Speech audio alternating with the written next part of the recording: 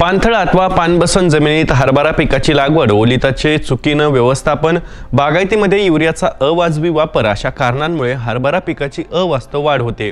हरभरा मोसंडतो म्हणजेच हरभरा पिकाची अवास्तव वाढ होते. त्यामुळे उत्पादनात घट होते. हे टाळण्यासाठी ओलीत व्यवस्थापन करताना आणि घाटे अळीचा प्रादुर्भाव कसा टाळायचा याविषयी शिवाजी कृषी महाविद्यालय अमरावती येथील जितेंद्र दुर्गे यांनी दिलेली पुढील माहिती पाहूया. नमस्कार मी धनंजय सानप.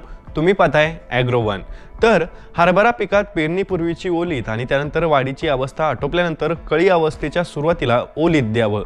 स्प्रिंकलरचा वापर करताना जमिनीच्या प्रकारानुसार आणि ओलीची स्थिती पाहून पाण्याच्या पाळीची वेळ ठरवावी. म्हणजेच स्प्रिंकलर किती वेळेसाठी लावायचं हे ठरवावं. अन्यथा बुरशीजन्य मुळसड रोगाचा प्रादुर्भाव वाढू शकतो. यानंतर गरज भासल्यास घाट्यांमध्ये दाणं भरण्याच्या अवस्थेला ओलीत द्यावं. यावेळी सुद्धा जमिनीला ओलीनुसार निर्णय घ्यावा.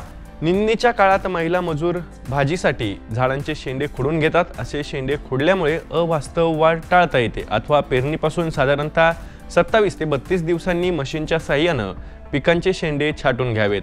घाटे आळीचा प्रादुर्भाव कसा टाळायचा तर ते समजून घेऊया. हरभरा पिकावर घाटे आळी ही समस्या मोठ्या प्रमाणात असते. घाटे आळीचा प्रादुर्भाव झाल्यानंतर उपाययोजना करण्यापेक्षा प्रतिबंधात्मक उपाययोजना करून पिकांचं संरक्षण करण्याकडे लक्ष द्यावं.